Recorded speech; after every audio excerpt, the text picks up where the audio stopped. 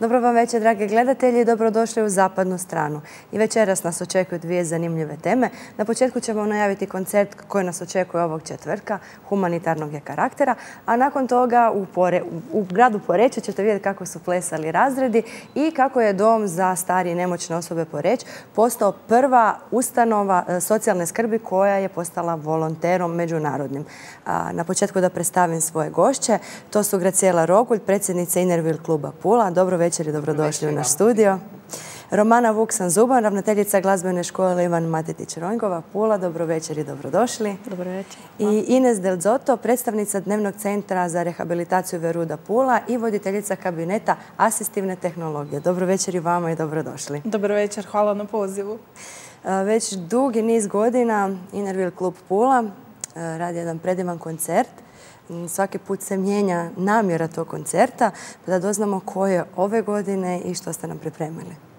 Da, evo ovo je 20. E, jubilarni, rekli bi, koncert, dobrotvorni koncert koji nam glazbena škola iz Pule Ivana Matetića Ronjgova poklanja, a mi u Innerville klubu onda evo već 19, a ovaj s ovom godinom i 20. puta biramo kome ćemo sredstva koja prikupimo humanitarnom akcijom e, pokloniti, odnosno donirati.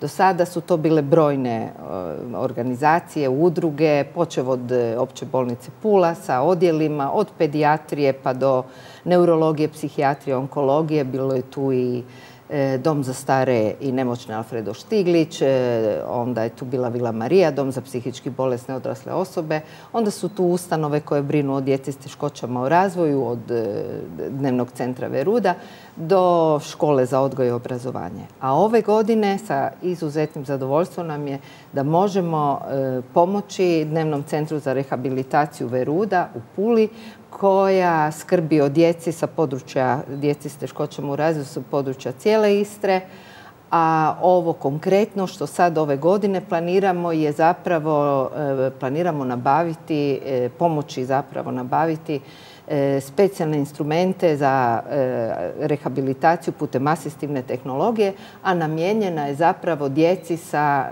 najtežim oblikom invaliditeta. Evo, sa izuzetnom radošću stvarno moramo naglasiti da smo do sada svaku godinu koju smo radili humanitarnu akciju, ono što smo planirale to smo i izrealizirale, pa tako vjerujemo da ćemo i ove godine prikupiti sredstva od e, prodaje karata za sam koncert do brojnih donatora koji nam ipak malo pomalo uplaćuju i mi trebamo zapravo skupiti određenu sumu novaca s kojima ćemo onda kupiti te instrumente, a po, e, preporuci, po mhm. potrebama koje su nam iskazali u centru Veruda.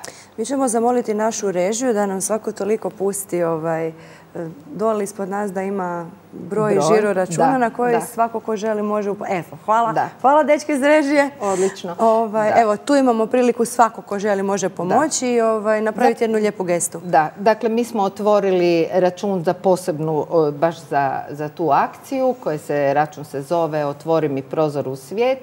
Čuti ćete poslije i od Ine zašto baš taj naziv sama mogućnost uplate na taj račun je do 18.8. E, u ovoj godini, što znači, evo, tada zatvaramo, zatvaramo akciju i tada ćemo javnost obavijestiti o tome koliko smo mhm. sredstava prikupili. Ukupno nam treba da tako, eto, ako mogu reći, 50 tisuća kuna nadamo se da ćemo toliko iskupiti. Ja se isto nadam i da će pomoći to što piše dole ispod nas i što ovaj, će neko možda pogledati danas emisiju možda na YouTube-u, možda reprizu, možda neko ko živi vani s obzirom da nas se može gledati i putem live streaminga i pozdravljamo sve naše gledatelje koji nas i tako gledaju. Pa ovaj, kako možemo mi drugi pomoći koji možda želimo doći na koncert? Što nam je činiti? Znači, dođemo u četvrtak. U četvrtak, 6.6. u Domu hrvatskih branitelja u 20 sati dođite, ko još nema karte, ko još nije kupio kartu. Biće prodaja e, karata na mhm. samom ulazu u dvoranu. Dođite, evo i o koncertu će reći ravnateljica glazbene škole, ali poučeni i znajući kako je to do sada izgledalo. To je predivan, predivan koncert. Zapravo onako da, pokažemo građanstvu da ima vrijedne djece, da ima nadarene djece, nadarenih e, i profesora, da se zahvalimo svima koji stvarno marljivo rade već tolike godine i škola e, obilježava 70 godina postojanja ove godine. Zapravo nam je teško i zamisliti grad bez glazbene škole Ivana Matetića Rongova koji nam je stvarno evo nekako smo se saživjeli svi sa, sa tim koncertom. Mislim čak i da građanstvo očekuje početkom šestog mjeseca svake godine kad će taj koncert, kad će nam se djeca i mladi pokazati što sve znaju. Mm. Bilo jako lijepo, mi smo kod televizije gostovali, evo ove subote smo imali priliku pokazati našim gledateljima kako je bilo kod vas u gostima. Upoznali smo stvarno jako talentirane mlade ljude koji mogu biti stvarno veliki ponos ovom gradu. Ovo što ste vi rekli, nezamislivo je uh, vidjeti grad bez glazbene škole. Pa ovaj, što ste nam pripremili za koncert? E, dakle, sinergija između dakle, Inervila i nas već postoji dugi niz godina i e, zahvaljujem se što smo mi baš prepoznati kao ta institucija koja može pružiti jedan kvalitetan program. To smo učinili ove godine. Između mnogih e, ove godine nagrađivanih uspješnih učenika sa međunarodnih i državno priznatih natjecanja, hvale vrijednih e, naših dakle, mentora koji su i tekako uložili svoje i vikende i slobodno vrijeme da bi to dijete i uspjelo. Dakle, izdvojili smo one e, nazovimo najuspješniji, imamo ih i još pa ste to i snimili, posjetili nas. Zahvaljujemo. Tako da eto, imamo najuspješnije solo pjevače u državi koje ćete jednako tako imati prilike čuti. Imamo horne, e, jedne od najuspješnijih u državi, harmonikaši, znamo i sami koliko su nam uspješni u ovom gradu. Evo večeras imaju jedan krasan koncert u katedrali. E, također, dakle, tu su nam nezaobilazne violine koje su e, prvakinje u, državi i u međunarodnim, kažem, priznatim natjecanjima. Tako da smo veoma ponosni na naš rad i naše učenike, pogotovo što evo ove godine ja mislim da većina e, građanstva zna da slavimo našu 70. obljetnicu iz koje su iznjedrili mnoga poznata imena njegujemo i dalje, oplemenjujemo svakodnevicu, glazba oplemenjuje svakodnevicu i u toj našoj tradiciji to se trudimo i dalje napraviti. A, e, kažem, oblikovanje mladih generacija ka nekakvoj ljepšem, skladnijem svijetu, to je naš zadatak i kroz ove akcije mi se trudimo i mentori to svakako čine. Znači, djeca kroz ovo darivanje glazbe, jer glazba to i jest na kraju, ona je velika sreća, ali ona je i dar, dar ne samo koji je u čovjeku, nego daje se i drugima. Mhm. Evo, ovom akcijom mi dajemo nekome kojem je to izuzetno potrebno. Ja sam, mislim, danas rekla da nema e, možda obitelji koja nije krhnulo glazbeno obrazovanje Ivan Matetić Ronjgov škole, ali sam sigurna da svako od nas poznaje barem jedno dijete, ako ne, u susjedstvu, koje je isto tako, e, nažalost, možda dobilo uputnicu za rehabilitacijski centar. Pa ja držim da će dvorana biti prepuna. Svakako dođite, ne tražimo puno, a vaša nam je podrška i takako potrebna. Ne može zvijezda uspjeti bez tima, a mi to dobro znamo jer učenik bez mentora, bez roditelja, bez zajednice ne bi uspio. Zato dođite, podržite talentiranu djecu, a i potrebitu djecu. Da, jako je lijepa poveznica što ste rekli. Djeca koja pomažu djeci, to je mladi koji pomažu mladima, ovaj, opet, ajmo reći, mladi mentori ih prate. ovaj, imate jedna stvar u školi jedan mladi tim ljudi. Mhm. veseli su, dinamični su, oni koji možda imaju koju godinu više svejedno su živi. Ovaj. Pa jedni povlače druge, znate, ona jedna svijeća pali druge, a da ne izgubi svoj svoj smisao. Tako da jest zadu, ono, prekrasan je kolektiv, lijepo se podržavamo, stalno se guraju, nešto traže. Sad bih htjeli ići ovdje, onda putujemo, družimo se, evo imamo i posjet nedavno i švedske škole, prijateljstvo se stvorilo već čak i možemo reći više godišnje.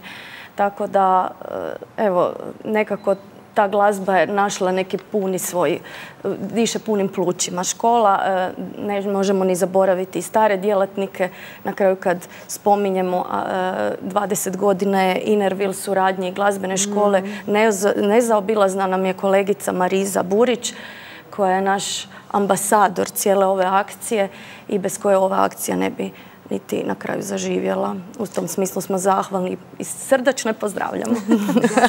Ove, rekli, rekli su mi puno učenika kad smo ih intervjuirali koliko su i mentori bitni i kako jedna od razloga zašto su odabrali upravo ovu školu jest profesori koji predaju u toj školi. Da. Neko od njih ćemo isto imati priliku vidjeti u četvrtak na koncertu. Ali pretpostavljam da koliko su važni mentori za tu djecu, tako su ovi drugi mentori važni za djecu.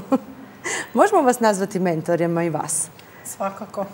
Svakako, to nam je i poziv. Jel da? ovaj, evo, e, jedna tehnologija, asistivna tehnologija, pa ovaj, da objasnimo našim gledateljima što to znači, jer je meni isto prvi put da se susrećem s tim terminom, pa da ovaj, pojasnimo svima o čemu je zapravo riječ. Da, iza tog abstraktnog naziva asistivna tehnologija krije se zapravo područje rehabilitacijske prakse u kojem se instrumentima koji su posebno dizajnirani zamjenjuje ona karika koja nedostaje, koja je narušena zdravljem. Znači to su vid, sluh, motorika, mobilnost, kontroliranje okoline i tako dalje. Ti instrumenti mogu biti zaista vrlo visoko sofisticirani pa su pokretani umjetnom inteligencijom, a isto tako se može raditi o nekakvim jednostavnijim oblicima tehnologije koje se pokreću običnom baterijom. Ono što je najljepše za reći da danas potpuno nepokretna osoba koja leži u krevetu može uz pomoć zjenice oka e, telefonirati, iako ne govori, može komunicirati sa svojom okolinom putem interneta, može upaliti svjetlo u susjednoj sobi ili bilo kakav kućanski aparat, a kamoli čitati i pisati. Mhm. Tako da je to zapravo jedna revolucionarna praksa jer ima jako dobre rezultate u životu osoba s invaliditetom. Diže im kvalitetu života. Evo, zapravo možemo vidjeti kako je tehnologija dobra stvar. Uvijek pričamo o onim negativnim stranama tehnologije, ali evo jedna pozitivna koja bi trebala biti ta koja nas vodi, zapravo koja je niti vodilja cijele priče razvoja tehnologije. Tako je.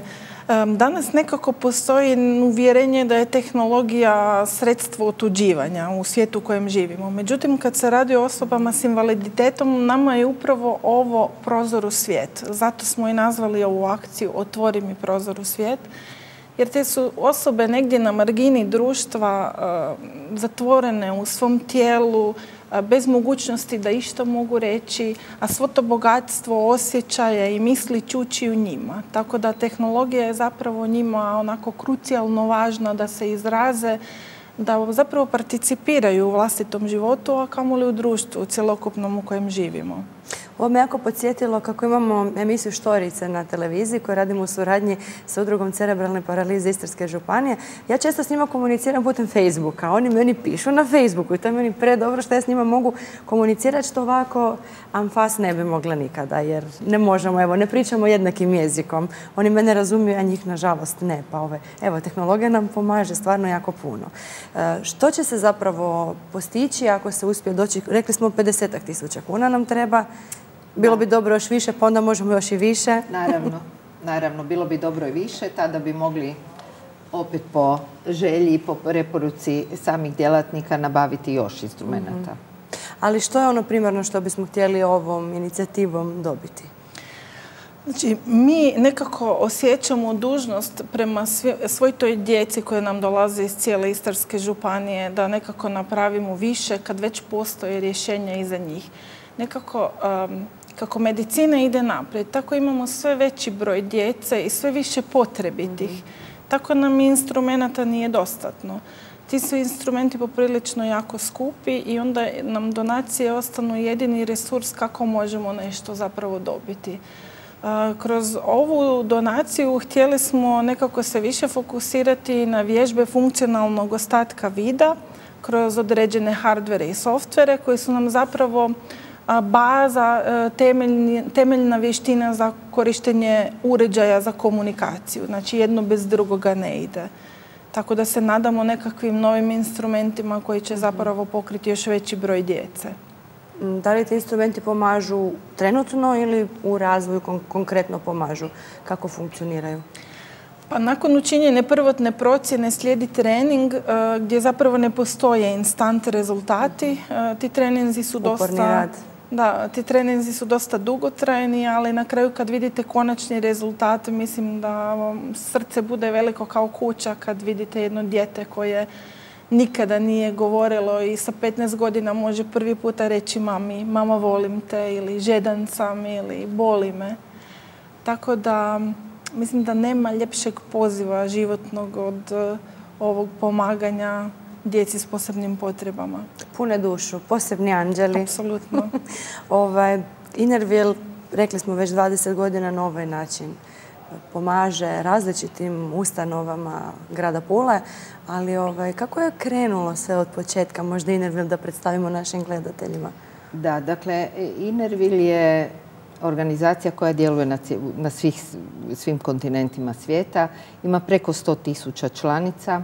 To je ženski klub e, u porodici Rotary e, e, obitelji, da tako kažem. Zapravo je 1924. u Manchesteru osnovan prvi Innerville klub. Ovaj klub u Hrvatskoj je prvi osnovan 1992. u Zagrebu, a ovaj u Puli je osnovan 1999 cilj uopće postojanja i, misija je naša da se zapravo lijepo družimo i da činimo dobra djela, da e, pružamo pomoć onima kojima je pomoć potrebna, da širimo prijateljstvo kako međusobno, tako i međunarodno. I na tome evo nastojimo e, činiti redovito i, i ovaj naš klub u Puli. U Hrvatskoj postoji 15 e, klubova E, naš Nervil klub Puli broj 15 članica. Sve od ove donacije što se recimo dobije, to će ići isključivo za nabavu instrumenta. Sve popratne nekakve troškove koji postoje, to snose članice same. Svojim doprinosom, bilo materijalno nekako ili, ili da platimo ovaj, same potrebe koje jesu. Da li to puni dušu pa zato radite? Pa je, ja sam cijeli svoj Ajmo reći iz onog sebičnog razloga da se duša napuni. Pa zapravo to je jedno jako lijepo druženje, a kada činite dobro, onda se morate i osjećati dobro. Mm. Ja sam cijeli radni vijek provela u radu sa djecom i mladima s teškoćama u razvoju i nekako osjećam potrebu, znam, bez obzira što smo mi pomagali i, i odraslima i starijima i tako, ali nekako smo i osjetivi na djecu mislim omogućiti im tako nešto da oni mogu izraziti svoje želje, da mogu komunicirati s drugima, to, to je nešto predivno. U centru, evo ja sam pre, presretna što postoji takav kabinet, što je e, Ines e, dala dušu, ono što se kaže, da, da podigne taj e, kabinet na jedan nivo i stvarno se trudimo evo da im, da im i ovom akcijom pomognemo onoliko koliko možemo. Da li se može postati članicom Minervila? Naravno da se može članicom postati. E, e, treba nam se javiti. Mi se sastajemo svaki drugi utorak u restoranu kod Milana. Imamo svoj prostor gdje odradimo svoj službeni dio. Nakon toga se malo podružimo sa idejom svaka dolazi ovaj, što bi sljedeće godine mogli, kome bi mogli donirati. Mi u pravilu mijenjamo naravno svake godine. Negdje smo i ponovili recimo kao što je Dom Ruža Petrović koji smo prošle godine radili jednu krasnu akciju koja je super uspjela. A evo i domu smo pomogli prije 5-6 godina kada smo donirali za e, terapijsko jahanje za djecu s teškoćama. Pa pomogli ste i nama. Vama isto, da. Talentiranoj djeci, da, dakle, da, su, dobiju ekstra školovanje. to su manje akcije. E, Inerville e, radi više akcija tijekom godina. Mhm.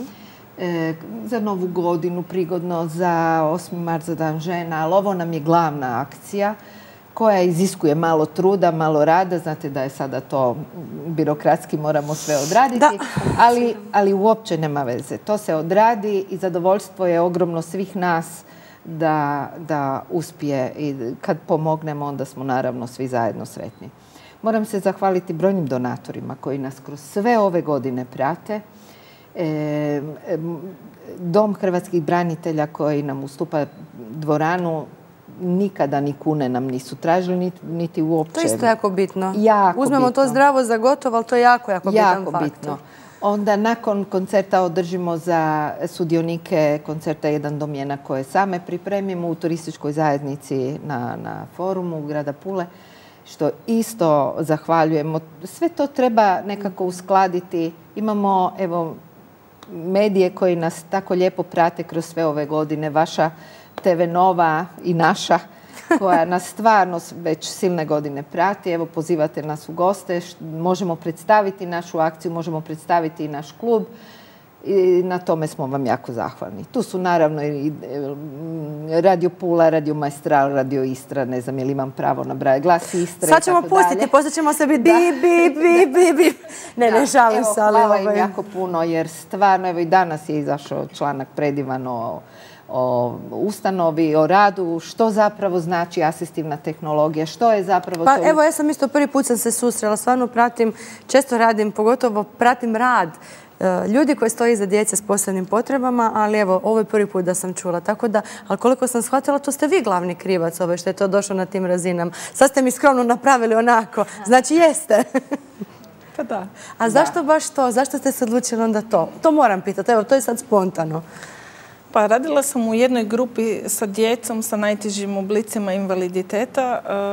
Bila sam njihova učiteljica, rehabilitator učiteljica u to vrijeme i zaista sam e, vidjela koliko je teško kada si potpuno nepokretan, a ne možeš govoriti. A iz njihovih očiju isijava mnogo toga ali oni su toliko puno više od onih običnih nekakvih poruka koje zapravo ti možeš shvatiti što bi oni u tom trenutku htjeli ili što možda ne žele u tom trenutku mm. raditi. E, međutim, postoji jedan dječak koji me silno dirnuo u srce jer sam vidjela koliko stvari bi on rekao kad bi mogao. I nažalost završio je na operacijskom stolu jer nije mogao pokazati gdje ga boli kako je bio oduzet od vrata na dolje, a nije mogao reći. U tom momentu uz pomoć i podršku Gracijele koja je tada bila uz nas, koja je tada vodila našu ustanovu, ja sam došla do tih podataka da postoje nekakvi uređaji koji zamjenjuju govor. Znači sve ono što je poznato iz science fiction filmova ili možda iz života pokojnog Stephen, tako je, Stephena Hawkinga, Danas mi evo živimo tu stvarnost u našem kabinetu. Mm. Tako da smo prije nekakvih 14 godina, sad će biti na zimu 14 godina, nabavili prvi softverski paket za argumentativnu komunikaciju, kako se to točno stručno zove. I tako je malo po malo to raslo iz projekta u projekt, ta cijela priča. Ta tehnologija koja puno košta, pa ovaj, jer sad bi se mogla onako kritike društvu. ali nećemo o tome, gledamo lijepe stvari. Bude mi tužno kad vidim da se nema novaca za to, imamo za nešto drugo. Nećemo sad nabrajati gdje se sve baca novac. Ali kad vidimo ovakve slučaje da morate pomagati talentiranoj djeci koja bi poslije se mogla školovati, te stvari onako bole me, baš me bole, ali eto. Ok, nema veze, postoje, postoji način kako doći do toga. Samo vi nas lijepo zovite pa ćemo mi više pričati o tome da, se te vijesti ljepše čuju i više je, čuju. Istina, to je jako važno. Pa zapravo onako slažemo polako taj mozaik sa kockicama da možda činimo ljude boljima. Evo i to je... Edukacija čovjeka da bude dobar, to isto nije loše. to isto možda biste si trebali staviti jedan od ciljeva kao Inner Will. da, pa je, je. Nije čovjek ono što misli, nego ono što čini. To se stavlja. ovaj, Možda pred kraj da kažemo što nas još očekuje od glazbene škole. 70. rođendan slavite, pa ovaj, znam da već bilo jako puno evenata, neki još tek trebaju doći. Što nas još očekuje? Dakle, i za Innerville koncerta imamo naš završni koncert u crkvi Svetog Franje 12. lipnja.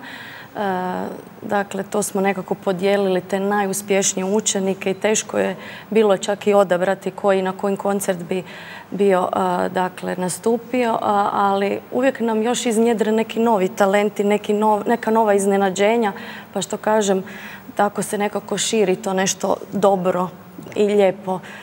U tom smislu se smatramo zbilja uspješnim. E, na jesen pripremamo koncert i to 11.